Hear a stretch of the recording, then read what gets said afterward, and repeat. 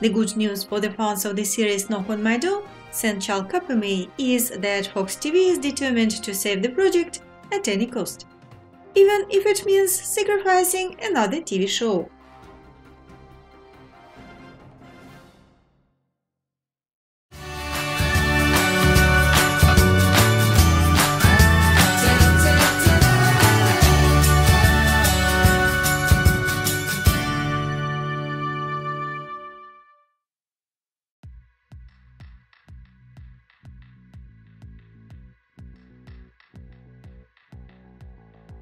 This season, Fox TV channel is particularly voracious, ordering more and more TV shows.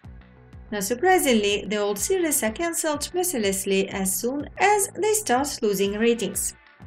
It looks like another victim of a relentless rating race is the series Simurg Zumrudu Anka. As it became known, the TV series Knock on My Door and Simurg changed the broadcast days. From now on, Knock on My Door will be broadcast on Saturdays and Simurg on Wednesdays. The new episode of Simurg will not be aired today. Instead, the repeat of the previous episode will be broadcast, as the new episode could not be filmed in such a short time.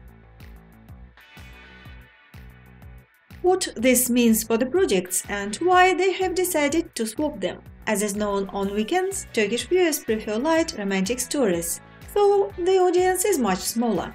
But there is no such tough competition as on weekdays. As a result, the TV series Knock on My Door has a real chance to gain additional audience and be renewed for a couple of months if successful.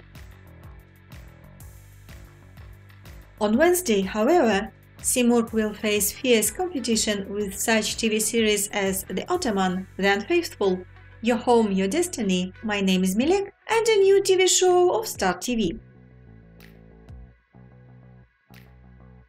It is not clear whether Simurg, which has seriously lost in the ratings recently, will withstand such competition.